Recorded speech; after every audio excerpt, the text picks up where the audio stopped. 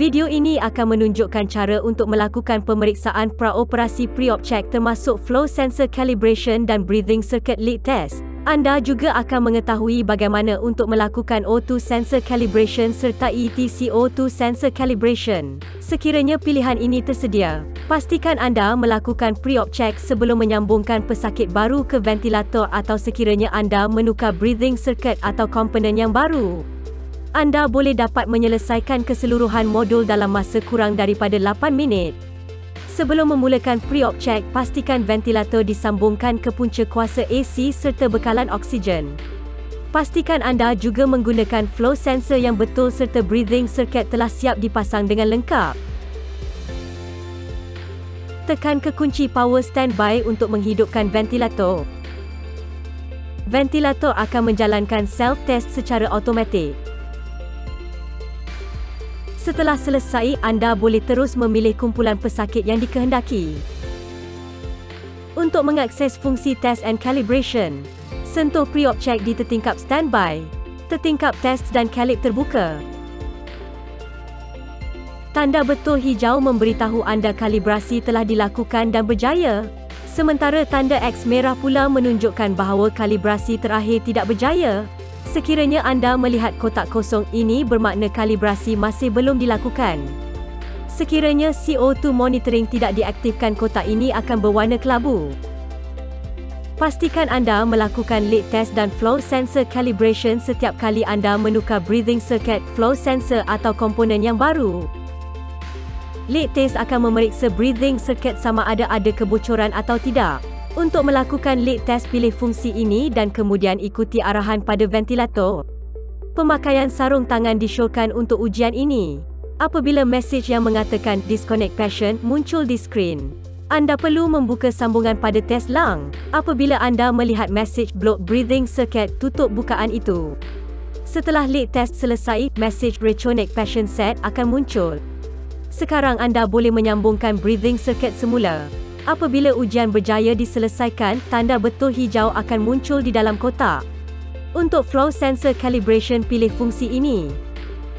Apabila mesej yang mengatakan disconnect patient muncul, anda perlu membuka sambungan pada test lung dan kemudian pasangkan adapter ke flow sensor. Apabila anda melihat mesej flip the flow sensor, terbalikkan flow sensor. Kemudian tunggu.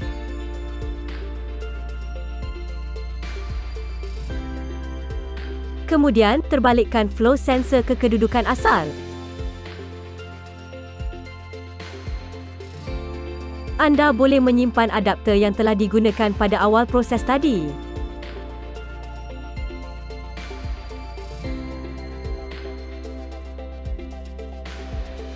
Apabila kalibrasi selesai, tanda betul hijau akan muncul di dalam kotak. Sensor CO2 sudah dikalibrasi daripada awal secara default. Jadi anda hanya perlu melakukan zero calibration pada airway adapter sahaja.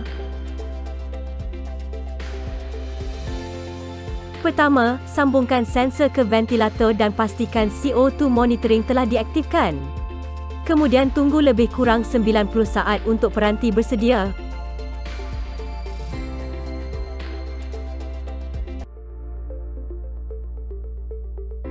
Sekiranya anda belum menyambung airway adapter ke sensor CO2, sambungkan sekarang dan pastikan anda meletakkan sensor ini jauh daripada semua sumber CO2 dan expiratory port. Jangan menggerakkan sensor CO2 semasa zero calibration sedang dijalankan.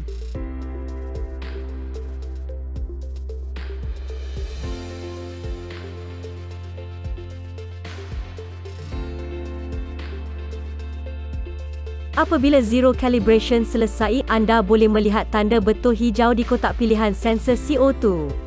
Sekiranya anda menggunakan coaxial breathing circuit, lakukan pre-op check ini sebelum anda menyambungkan penapis HME. Setelah anda melakukan test and calibration, anda boleh meletakkan penapis HME di antara pesakit dan flow sensor. Anda hanya perlu melakukan kalibrasi sensor O2 sekiranya tanda X merah dipaparkan di kotak pilihan sensor O2 atau sekiranya ada penggera yang berkaitan. Anda boleh lakukan kalibrasi sensor sama ada semasa ventilator sedang standby atau semasa ventilasi aktif. Kalibrasi ini memakan masa sekitar 2 minit. Pertama, pilih sumber oksigen yang sesuai.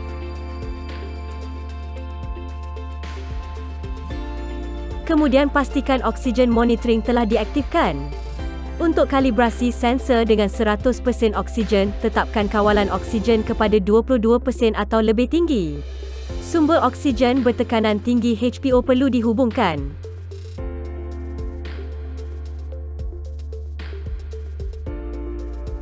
Kalibrasi memakan masa sekitar 2 minit.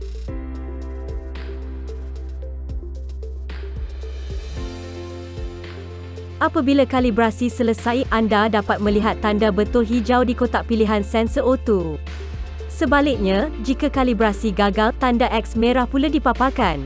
Ulang kalibrasi semula dan sekiranya masih gagal, ganti sensor O2. Sekiranya anda menggunakan oksigen bertekanan rendah LPO atau oksigen bertekanan tinggi yang kurang daripada 99% oksigen, putuskan semua bekalan oksigen sebelum anda memulakan kalibrasi. Sekiranya bekalan oksigen terputus, kalibrasi akan dilakukan dengan hanya 21% oksigen tanpa mengira keadaan oksigen semasa.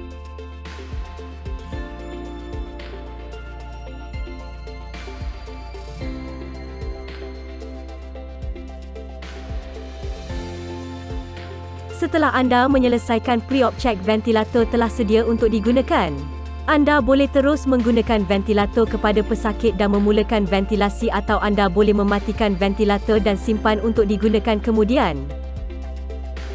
Semua keputusan ujian pre-op check akan disimpan dalam memori walaupun setelah ventilator dimatikan.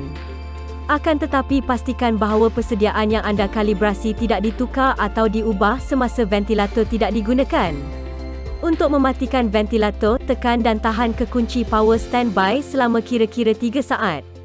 Kami menggalakkan agar ventilator yang disimpan tetap disambungkan ke sumber kuasa utamanya untuk mengekalkan cas bateri dan memanjangkan jangka hayat bateri.